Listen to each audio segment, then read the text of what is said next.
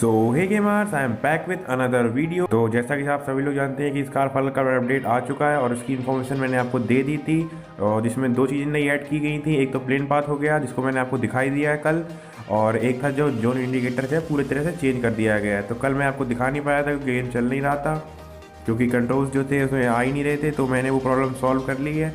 और जिसको अभी तक प्रॉब्लम सॉल्व नहीं हुई है तो मैंने वीडियो का लिंक जो मैं डिस्क्रिप्शन में दे दूँगा वो वीडियो जाके देख लेना तो आपका जो कंट्रोल्स है वो वापस आ जाएँगे।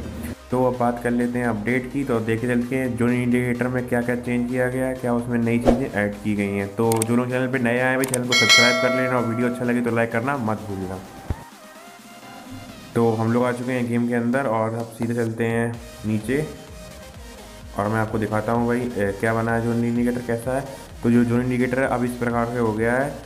कि जो पहले जो सर्कल था, अपना जोन था, वो ब्लू कलर का कर दिया गया है और सर्कल के अंदर जो वैसे सिस्टम है, जब सेकेंड सर्कल बना करेगा तो ये देखिए सेकेंड सर्कल जो अपना वाइट ही कलर का है, पर जो जोन वाला सर्कल है, वो पूरा जैसे जैसे बढ़ता जाएगा, अंदर की तरफ़ वो पूरा ब्लू होता जाएगा। जैसे जो नए प्लेयर हैं, उनको आसानी होगी, भाई सर्कल देखने, पहले कुछ नहीं हुआ करता था, पूरा मैप ही ऐसे दिखता करा तो समझ में नहीं आता था भाई जोन कहाँ है, और अब तक आपको डैमेज नहीं होता था। लेकिन अब जो है सर्कल के बाहर पूरा जो ब्लू कर दिया गया है, जिससे कि आपको आसानी होगी जोन पहचानने में कहाँ पे आपका जोन बना तो ये वाला अपडेट में सिर्फ़ इतना ही ऐड किया गया है दो चीज़ें और जो प्लेन पाथ था और ये वाला नया जोन इंडिकेटर तो जो अगर वीडियो अच्छा लगे तो वीडियो को लाइक कर देना और चैनल सब्सक्राइब करना मत भूलना। तो आज की वीडियो में इतना ही। टापा गए